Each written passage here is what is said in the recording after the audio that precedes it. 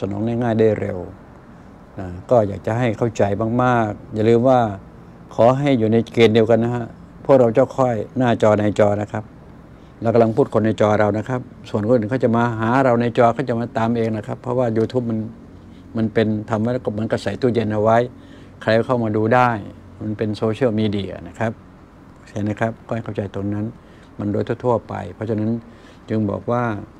ไอ้พลังงานที่บริสุทธิ์ ที่มันอยู่ในแสงเนี่ย ตรงนี้แหละครับ มีผลมากนะครับ ค่อยๆสูตรเอานะหลังๆมานี่ก็อยากจะใช้ให้มันเป็นมาตรฐานสักนิดหนึ่งวันในบ้าๆผมจะใช้ภาษาอังกฤษ พูดเป็นภาษาอังกฤษผ่านภาษาอังกฤษ ตอนนี้ยังบ้าไม่พอเผื่อมันพูดได้ วันไหนพูดได้ก็ มันก็คงจะไม่ใช่บรรยากาศอย่างนี้ยครับ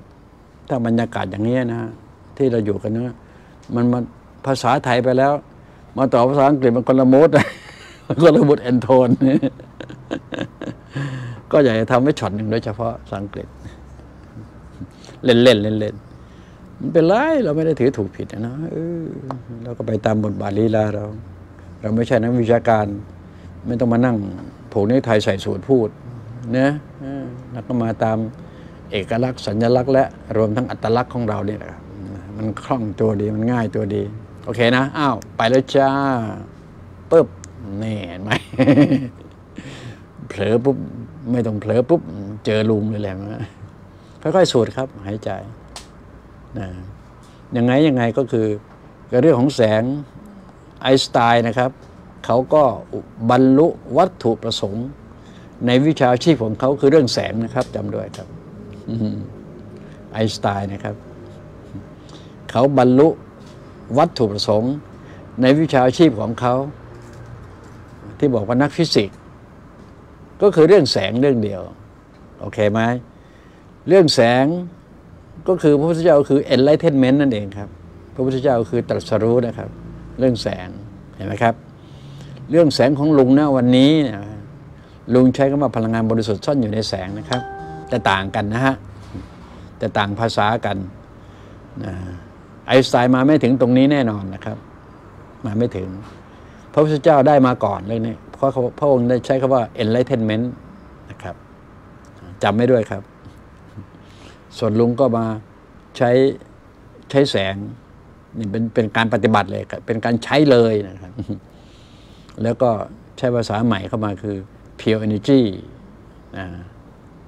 อยู่ในแสง พลังงานบริสุทธิ์นี่นะมันทำให้เกิดโฟตอน บอกให้ก็ได้โฟตอนที่เขาว่าคือนักวิทยาศาสตร์เขาว่าจำหน่อยครับ พลังงานบริสุทธิ์เนี่นะเป็นตัวที่เป็นต้นกำเนิดให้เกิด โฟตอนที่เขาว่าเห็นไหมนี่ภาษาใหม่แล้วมาภาษาใหม่คือภาษาลุงเนี่ยครับ อีกครั้งหนึ่งพลังงานบริสุทธิ์เป็นต้นกำเนิดให้เกิดโฟตอนที่นักฟิสิกส์เขาว่า โอ้โหภาษาลุงเนี่ยไม่ธรรมดานะให้รู้ไว ไม่ธรรมดานั่นเองครับ นะค่อยๆสูดเอาครับ คนไหนออสโมซีดได้ ซึมซับได้ คนนั้นนะฮะจะเป็นคนที่มีเนื้อเยื่อในร่างกายเบาบางนะครับ ผมจะเรียกว่าค่าความต้านค่าความต้านทานในร่างกายมันน้อย ทางไฟฟ้าก็เรียกว่าค่า R R R R คือ resistor นะครับ resistor resistance นะครับ นะใครก็ตามที่มีค่าความต้านทาน น้อยจะรับพลังงานบริสุทธิ์จากแสงที่ลุงกำลังทำนี้ได้ง่าย จะส่งผลให้เกิดอะไร ผิวขนลุกขนพอง แล้วก็จะซึมเข้าไปในในเนื้อเยื่อคือให้เกิดความร้อนในร่างกายได้ นี่คือความมหัศจรรย์นะครับ แล้วท่านจะรู้ของท่านเองนะครับ ท่านอยู่หน้าจอที่เคารพทุกท่าน จะเป็นหญิงหรือชายต่างวัยต่างขนาด เราไม่เลือกเพศ ไม่เลือกวัย ไม่เลือกชั้นวรรณะให้มันวุ่นวายหัวใจแต่ประการใด เราไม่เลือกความเชื่อใด ๆ ก็แปลว่ากลุ่มศาสนาใดในโลก จะเป็นกลุ่มสาธุอามินอเมนโอม และอมิตพุทธ อยู่ในเนื้อหนังวังสาเดียวกันหมดครับบอกให้ทราบไว้นะครับ มารู้จักกับสิ่งเหล่านี้นะครับ ท่านทั้งหลายนะท่านทั้งหลายนะครับท่านจะมีความเชื่อเรื่องศาสนาในกตาทินมาวันนี้มาเรื่องราวของมนุษย์อย่างเดียวนะครับ เรื่องศาสนาจะอ่อนแรงลงนะครับ บอกให้ทราบไว้นะ มันจะเข้ามาสู่เรื่องของตัวมนุษย์มากยิ่งขึ้นนะครับมนุษย์จะเข้าใจเรื่องของหน้าที่สิทธิอำนาจ รับผิดรับชอบนะแล้วก็มีคำว่าเสรีภาพ อิสรภาพมากขึ้นเป็นลำดับ ในระยะนี้บ้านเมืองของเราส่วนหนึ่ง แล้วทั้งโลกใบนี้ด้วยกำลังสะสางเรื่องนี้ใหญ่โตมากครับ ใหญ่โตมากคือเรื่องอำนาจนะครับำนาจอำนาจ ใหญ่โตมาก เป็นกันทุกประเทศในโลกนี้นะครับ ทุกประเทศนะอำนาจ ลุงพูดเสมอว่า มนุษย์เกิดมากเกินไป ในแต่ละประเทศชาติ เกิดมาแล้วมาแย่งอาหารกันกิน แย่งแผ่นดินกันอยู่ แย่งคู่กันพิศวาสหรือไม่ ตรงนี้ใช้คำว่าหรือไม่ด้วยนะครับ เพราะมันไม่เสมอไป แล้วก็แย่งอำนาจปกครอง อันนี้แน่นอนนะครับ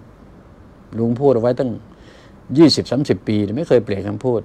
มาถึงวันนี้โหโคตรถูกเลยครับ เห็นชัดเลย เกิดขึ้นประจำวันของบ้านเราด้วย เอาเปล่าเอาเปล่าแย่งอำนาจกันเนี่ยครับ เกิดขึ้นประจำวันของบ้านเราด้วยเถียงไหมเถียงลุงไหมทีเนี่ย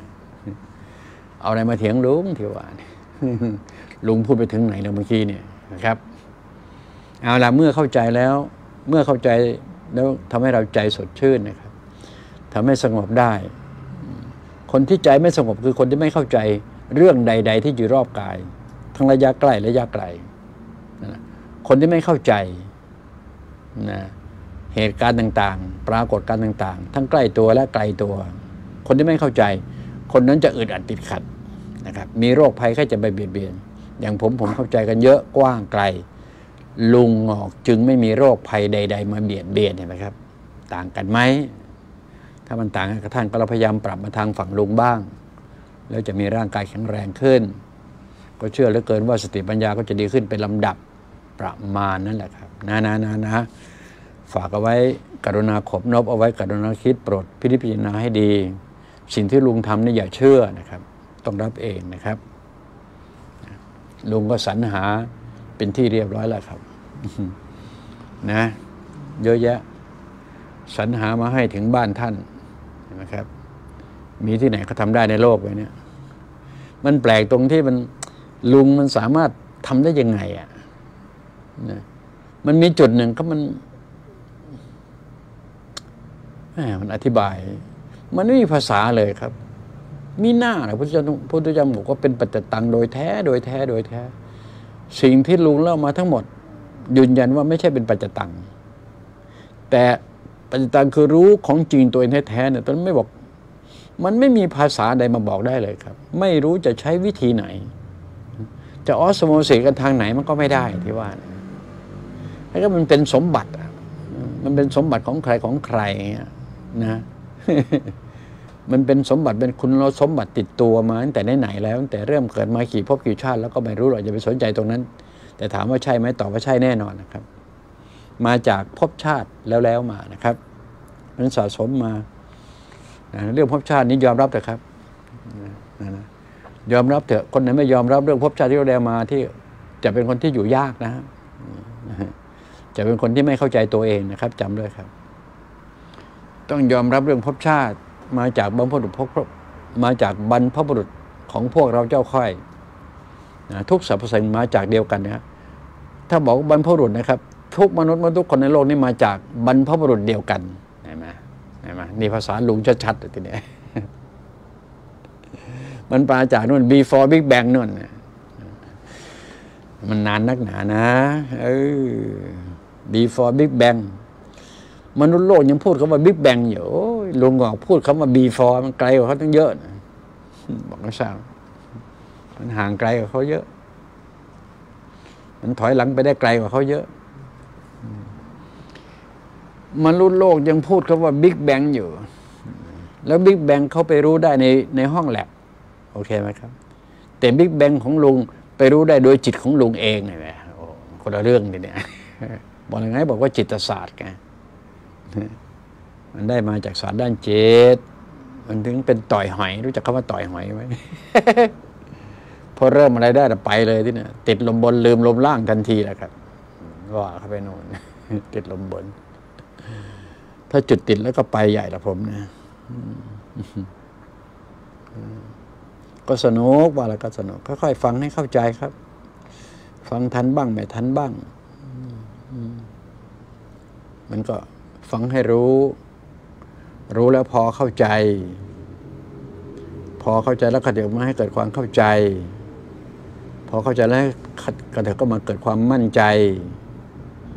ก็เดี๋ยวก็มาเกิดความ ชำนาญชำนาญในการฟัง ต่อไปก็ชำนาญอะไรต่อ อะไรที่มันเหนือกว่าชำนาญไหมเนี่ย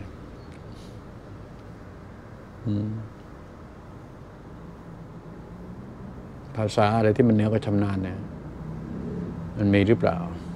น่าจะมีนึกไม่ได้ตอนนี้ มันมีอยู่คำหนึ่งก็แล้วกันชำนาญเชี่ยวชาญ เชี่ยวชาญมันมีมันมีคำเกินเชี่ยวชาญด้วยนะครับ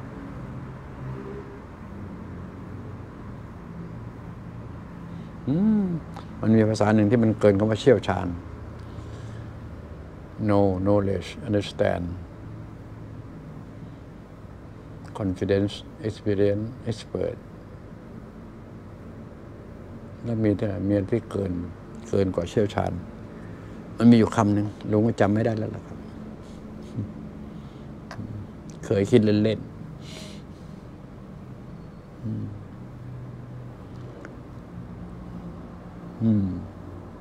ค่อยๆสูดหายใจครับ เรื่องนี้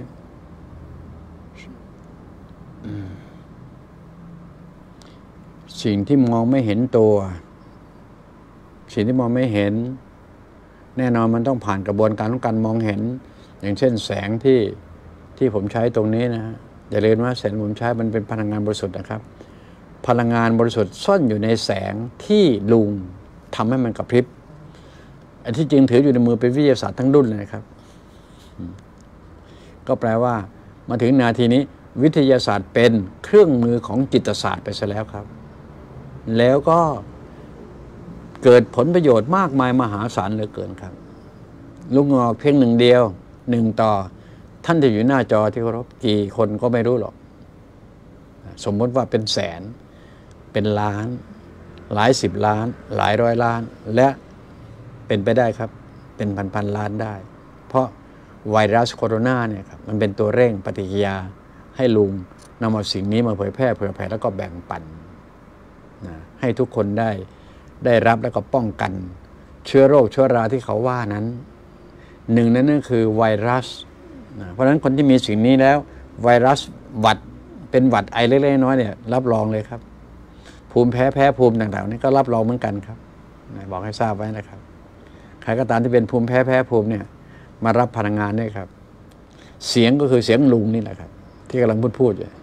แสงก็แสงที่ลุงกำลังทำอยู่แล้วนี่ได้สองสิ่งในเวลาเดียวกันนะครับ ขณะนี้ให้รู้ไว้นะครับเสียงลุงที่เป็นภาษาเนี่ยครับเพราะฉะนั้นฟังภาษาให้ทัน ให้พอเข้าใจหรือให้เข้าใจให้ได้นะครับ ลุงก็ไม่ได้ใช้ภาษาอื่นนะ ภาษาอื่นลุงก็ไม่ถนัดเหมือนกันแหละเนี่ยนะนะเออยกเว้นภาษาใบภาษาใบภาษาความรู้สึก ภาษารูปคลำเลยอย่างนั้นก็พอได้หรอกแบบนั้น ก็เรียก body language นะฮะ body language เป็นภาษาที่เนียนนะฮะเป็นภาษาที่เนียนมากนะครับเนียนมาก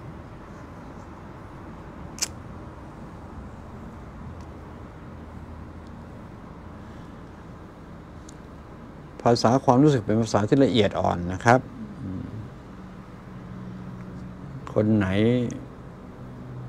ผ่านกระบวนความรู้สึกใด ๆ สัมผัสสัมพันธ์สิ่งเกี่ยวกับขีดขวางข้างๆตัวท่านนั่นแหละครับ ลองลองให้ความสำคัญเยอะๆพวกนี้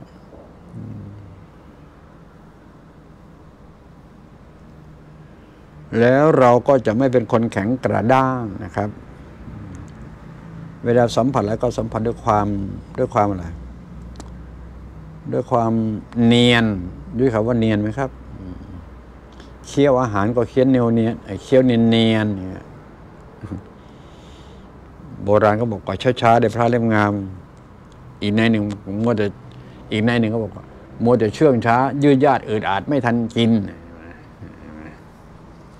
ไม่ทันโลกก็กลับกันนั้นนะครับพวกนี้ในโลกนี้มันมีขั้วตรงข้ามเสมอนะครับ สุดโลกแล้วจึงจะไม่มีขั้วตรงข้าม สุดโลกแล้วจึงจะไม่มีขั้วตรงกันข้ามนะครับ ภาษาพุทธศาสตร์เรียกว่าปรมัตสัจจะนะครับจำหน่อยครับตรงนี้ ปรมัตสัจจะได้ไหมครับค่อยๆพิจารณานะ ไม่ต้องรีบร้อน ไหนๆก็ลุงก็ส่งให้ถึงบ้านแล้ว ส่งให้ถึงบ้าน ส่งให้ถึงมุ้ง ถ้าอยู่ในมุ้งนะ นั่งดูอยู่ในมุ้งก็ส่งให้ถึงมุ้ง เอาไงล่ะ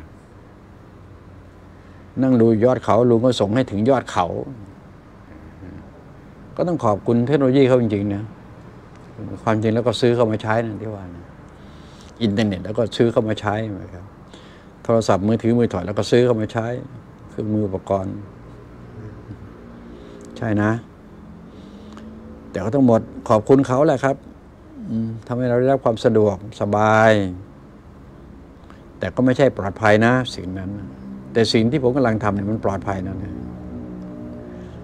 นะถ้าเป็นการแพทย์ก็เป็นเป็นการแพทย์ทางแบบองค์รวมนะครับ ยิงนัดเดียวแสงเนี่ยร่างกายดีทั้งตัวด้วยเอายิงนัดเดียว พลังงานมันเป็นอย่างนั้นครับ แป๊บเดียวได้หมดเลยล่ะอืมมันมาถึงยุคมันครับ สิ่งนี้แหละลุงบอกว่าเป็นองค์ความรู้ใหม่ในศตวรรษที่21 เพราะฉะนั้นภาษาเก่าในศตวรรษที่ผ่านๆมาเนี่ยนั่นคือภาษาเก่าความรู้เก่านะครับ ของใหม่ก็ ลุงก็พยายามเชื่อมของเก่ามาเป็นของใหม่ให้นะครับ เพราะฉะนั้นท่านที่มีของเก่าอยู่แล้ว ก็เอาไว้เข่งหนึ่งข้างๆตัวนะของใหม่มันจะแปลกๆครับ เพราะไม่เคยได้ยินไม่เคยได้สัมผัสไม่เคยฟัง ไม่เคยได้ยินมาจากไหนที่ไหนอย่างไร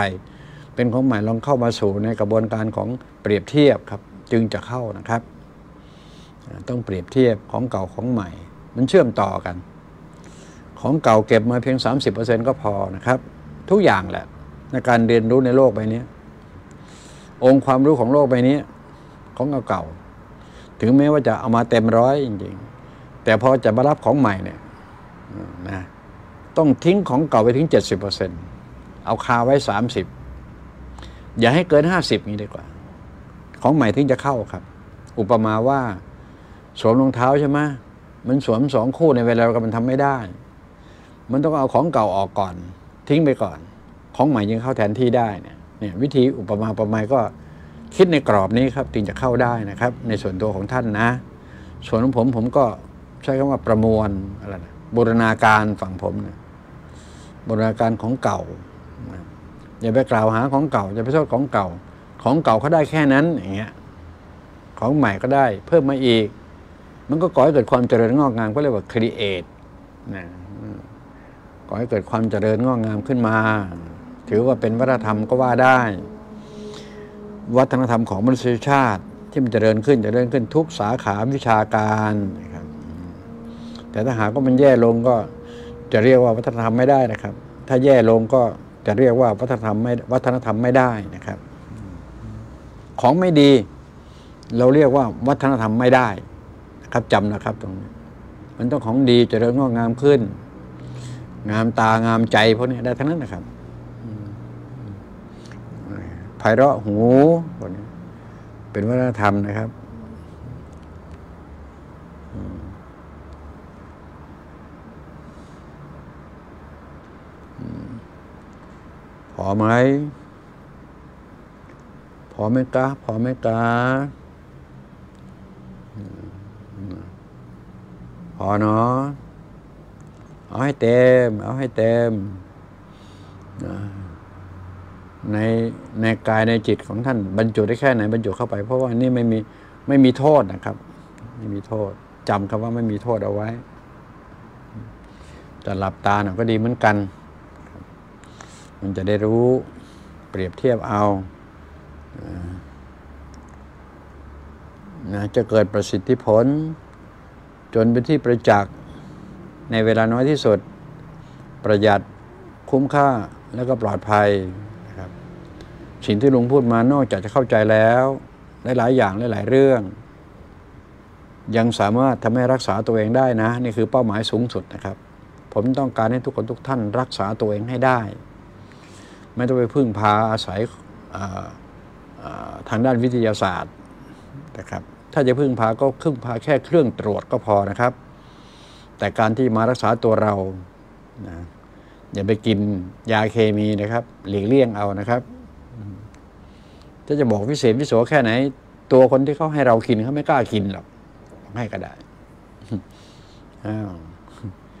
คนที่เขาเอาให้เรากิน เขาไม่กล้ากินหรอกไม่เชื่อก็ลองสิครับเวลาไปเจอนายแพทย์นางแพทย์เขาจ่ายยาให้เรา ท่านครับ ลองกินเป็นตัวอย่างสักหนึ่งเม็ดดูสิครับ เขาบอกไม่กิน รับรองเลย ลุงลุงรับรองเลยอะจริงให้มาห้าเม็ดตัวอย่างมาตั้งห้าเม็ดดูสิเซตไม่กล้าหรอกยังไงไม่กล้าหมองูกลัวงูจนได้แหละครับ จริงสุดท้ายกลัวงูจนได้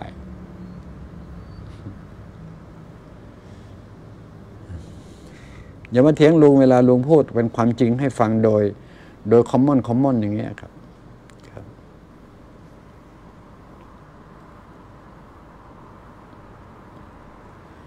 มันจะหมดยุคครับผม มันจะหมดยุค ยุค ยุค การรักษาเยียวยาต้องมาใช้ธรรมชาติบอด เช่นอากาศเป็นยาน้ำเป็นยา พืชและผลไม้เป็นยา สัตว์ ตัวเล็กตัวน้อย กุ้งหอยปูปลา ล้วนแต่เป็นยารักษาตัวเรา ย้ำกับว่าถ้าเป็นยาต้องรักษาตัวเรานะครับ เป็นหลัก ถ้าเป็นยาต้องรักษาตัวเราเป็นหลักจำเป็นหลักนะครับ ถ้ายารักษาโรคไม่ใช่แน่นอนใช่ไหม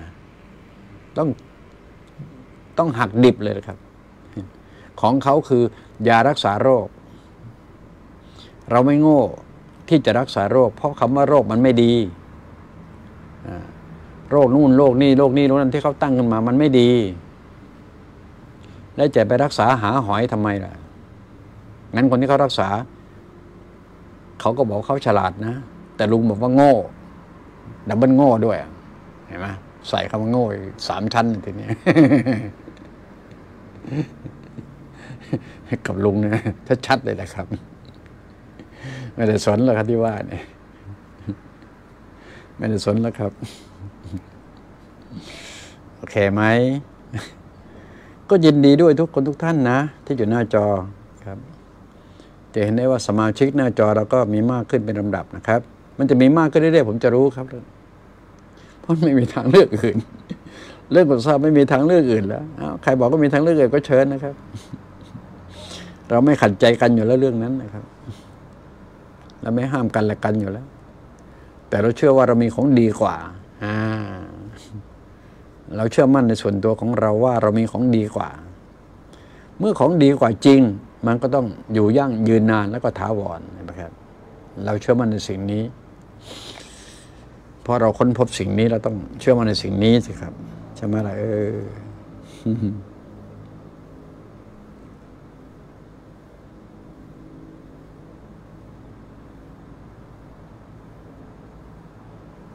อ โอเคเนาะพอใจไหมครับ ความสุขทั้งหลายอยู่ที่ความพอใจทั้งสิ้น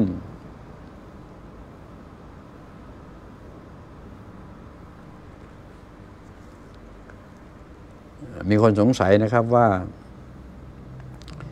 จุดตรงกลางที่เล็กที่สุดคือแกนของพลังงานบริสุทธิ์ใช่ไหมคะ เอาพิจารณาให้ได้ครับ มันก็แปลกดีเหมือนกันนะ อ่า มันก็แปลกเหมือนกันนะ ลุงก็พยายามอยู่ในท่านิ่งที่สุดเท่าที่ยิ่งได้ครับ ส่วนทางท่านก็เห็นเอาเอง ที่บอกว่าแกนจุดศูนย์กลางนั่นนะครับ คือพลังงานที่บริสุทธิ์ใช่ไหมคะ ก็ถูกกระตุ้นด้วยการกระพริบของแสงเข้าตาสู่ใจสมอง บันทึกแกลก ไฟฟ้าสถิตในตัวเรา จะมีมากขึ้นใช่ครับ ใช่ครับ จะมีไฟฟ้าสถิตมากขึ้นนะพยายามใช้ความนิ่งของท่านเองครับ ด้วย มันจะได้หลายสิ่งหลายอย่างนะมันโอ้โหแบรนด์โปรดักต์เยอะนะบอกให้ทราบไว้นะครับ เห็นแค่นี้นะครับ มันจะพาไปให้รู้ สังเกตการประกอบอาชีพด้วยนะครับ คนที่อยู่หน้าจอนะ ประกอบอาชีพประจำวัน มันรักษาเนื้อผ้าได้ไหมนะผลตอบแทนการประกอบอาชีพดีขึ้นไหม การคบค้าสมาคมกับเพื่อนฝูงดีขึ้นไหม เปลี่ยนจากศัตรูเป็นมิตรได้ไหมพวกนี้มันจะเปลี่ยนนะครับ เปลี่ยนจากคนที่เขารังเกียจเรา เขาก็จะมาพอใจในตัวเรา มันเป็นอะไรล่ะ ช่ไหมฮะพอใจในตัวเราเสมอๆประมาณนั้นนะครับ ลองตั้งข้อสังเกตเอาครับ สังเกตเปรียบเทียบ เป็นคุณสมบัติของคนที่มีความพิเศษอยู่ในตัวนะครับ สังเกตเปรียบเทียบสรุป สรุปไปว่าเลือกแล้ว สรุปไปว่าเลือกข้างแล้วนี่คำว่าสรุป เลือกเอาแล้ว เวลาไปซื้อของเอาไว้นี่แหละนั่นคือสรุปแล้ว แล้วก็ไม่ต้องไปโยเยโยเย เพราะสรุปแล้วเนี่ยผิดครั้งนี้ช่างมันข้งหน้าอย่าให้ผิดอีกก็แล้วกันประมาณนั้นครับ ตอนอย่างนั้นด้วย ไม่ต้องไปเสียดายเสียดายเพราะไม่ใช่คุณพุ่มพวงว่าเป็นโน่นนะ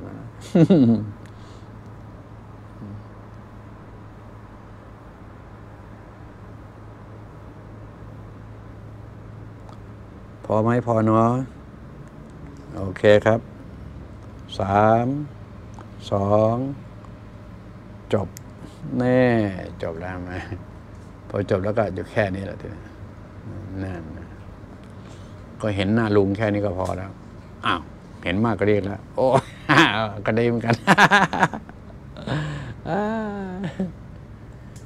อ้าวแล้วจากนั้นมาลุงก็ต้องถามท่านย้อนกลับจนได้แหละจะได้อะไรจากลุง ลุงเป็นผู้ให้ไปเรียบร้อยจ้า ลุงให้เรียบร้อยแล้วจ้า ส่วนท่านได้รับอะไร อธิบายผ่านตัวหนังสือเป็นความรู้สึกนะคะตอบผ่านความตอบเป็นความรู้สึกผ่านตัวหนังสืออ่าแล้วมาแชร์กันอีกชั้นหนึ่งเดี๋ยวนี้ครับเอานะ ตอบ